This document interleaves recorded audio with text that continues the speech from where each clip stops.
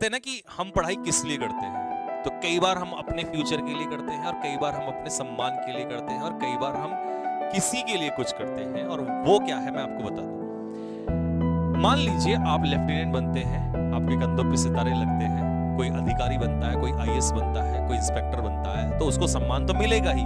लेकिन तुम्हारे जॉब लेने से क्या एक्स्ट्रा फ़ायदा है मैं आपको बताता हूँ। एक बार की बात है तो एक ऑफिसर थे आईएएस ऑफिसर थे, गाजियाबाद कैडर मतलब गाजियाबाद ज़िले में वो आईएएस थे डिस्ट्रिक्ट मजिस्ट्रेट थे। एक दिन क्या होता है, उनके पिताजी बिना बताए उन्हें उनसे मिलने के लिए आ जाते हैं। और आते कैसे हैं ट्रेन से आते हैं। जब वो रेलवे स्टेशन पे पहुँचते हैं दोस्त तो होता क्या है कि वहाँ पर पता चलता है कि ये जो आईएएस ऑफिसर है, उनके पिताजी हैं। और वो उन्हें बिना बताए आना चाहते थे। और वो ट्रेन से आते हैं रेलवे स्टेशन में पहुँचते हैं तो पुलिस वालों को पता चलता है कि ये जो आईएएस अधिकारी है, ये उनके फादर हैं। पुलिस की 20 गाड़ियाँ रेलवे स्टेशन पे पहुँचती हैं और उनको लेकर उनके दफ्तर तक पहुँचती हैं।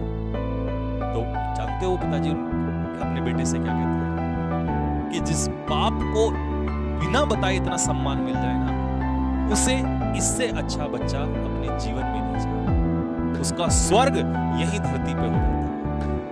तो आप कहते हैं ना, हमारे माँ बाप को स्वर्ग मिलेगा जाके।